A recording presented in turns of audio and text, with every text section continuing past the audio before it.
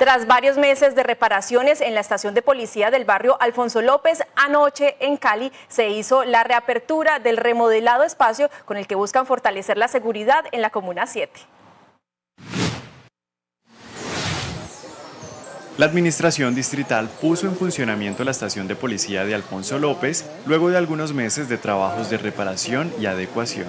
Estamos entregando una muy buena noticia a toda la Comuna 7 es la entrega nuevamente al servicio de la estación de policía Alfonso López, que va a beneficiar 12 barrios, más de 78 mil habitantes, que junto a los más de 100 hombres y mujeres que hacen parte de esta estación de policía, 12 cuadrantes, vamos a seguir trabajando de manera articulada para trabajar por la seguridad de esta comuna.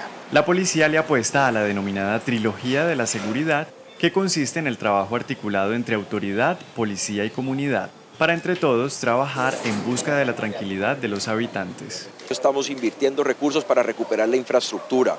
Hoy entregamos la estación de policía de Alfonso López. En los próximos tres meses vamos a entregar la estación de policía del Diamante y también la de Mariano Ramos. Y antes de finalizar el año entregaremos cinco más, es decir, ocho de las 22 estaciones que tenemos en Cali las vamos a entregar renovadas. Líderes del sector asistieron a la reapertura de la sede, señalando que su funcionamiento traerá mayor seguridad a la Comuna 7. Creo que la reapertura de, la estación de policía va a generar un trabajo en equipo, porque pues eso es un trabajo en equipo, comunidad con, los agentes policiales, donde va a disminuir mucho o sea, toda la delincuencia que se está afectando nuestra comunidad. 103 hombres y mujeres, 3 vehículos, 19 motocicletas y toda la capacidad institucional estarán ahora al servicio de la Comuna 7.